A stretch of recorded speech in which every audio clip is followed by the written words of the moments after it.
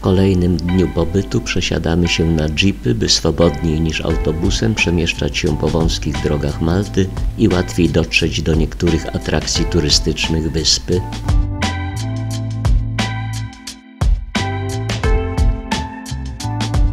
W uroczej zatoce Kotwic leży wioska Popeja.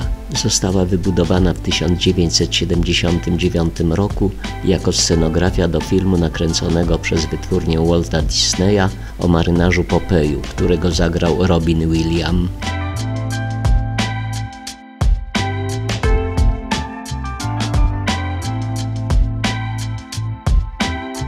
Spod stóp czerwonej wieży, zwanej także wieżą świętej Agaty, roztacza się rozległy widok na wyspę Gozo i Komino.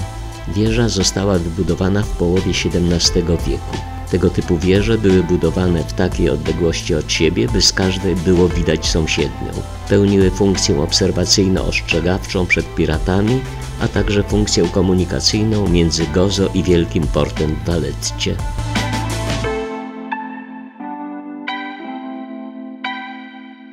Spod wieży widać także plażę Meliecha, największą piaszczystą plażę na Malcie.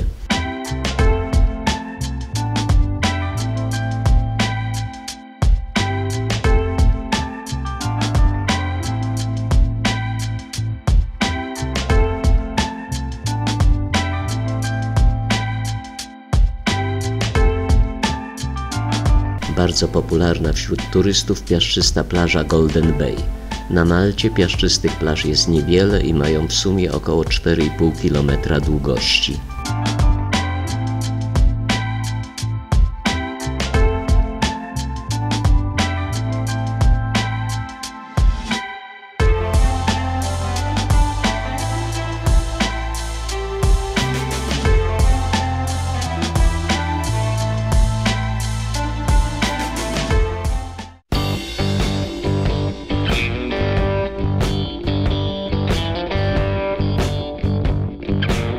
Wybrzeże Malty obfituje w malownicze zatoczki i wspaniałe klify.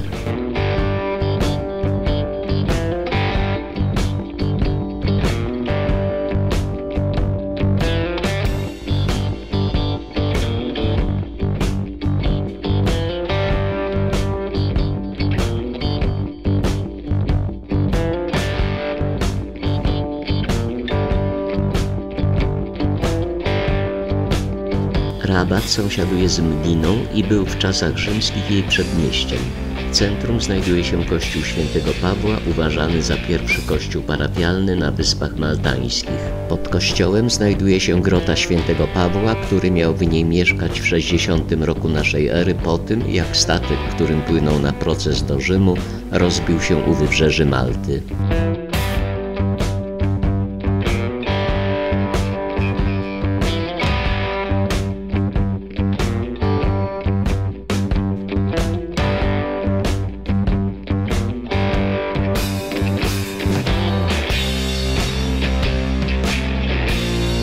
W Rabacie znajdują się katakumby świętego Pawła i katakumby świętej Agaty. Podobno katakumby pod miastem mają kilkanaście kilometrów długości. Paweł prowadził tu działalność misyjną, podczas której uzdrowił ojca rzymskiego namiestnika Publiusza i wielu innych chorych. Kaplica świętego Katalda, pod którą też są katakumby.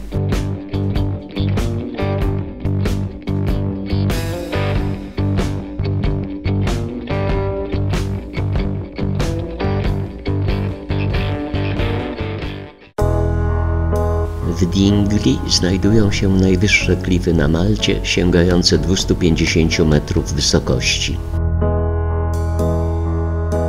Na wysokim klifie w 1646 roku zbudowano kaplicę świętej Marii Magdaleny. W oddali widać letni pałac prezydencki.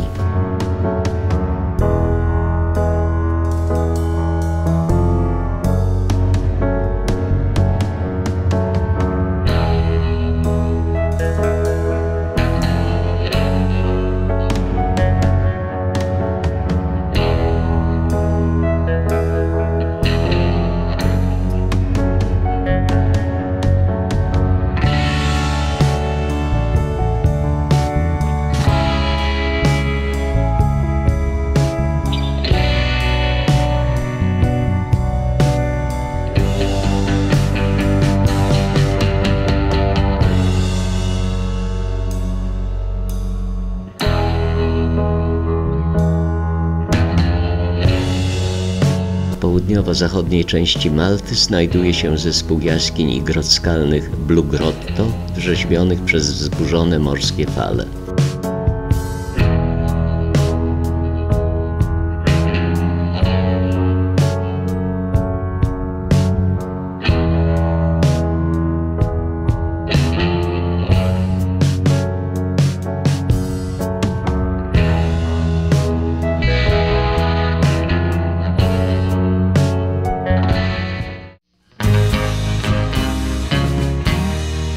Marsa Szlok jest najładniejszą wioską rybacką na Malcie. Stacjonuje tu największa flota rybacka, a port, w którym cumuje mnóstwo tradycyjnych kolorowych łodzi rybackich, prezentuje się nadzwyczaj malowniczo.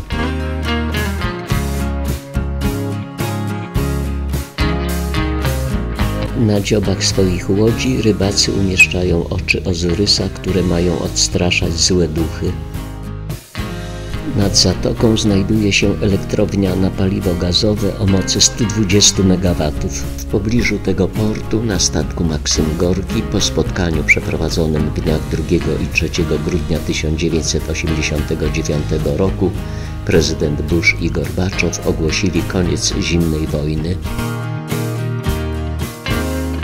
Kościół parafialny w Marsa-Szlok. I tu kończymy nasz objazd jeepami.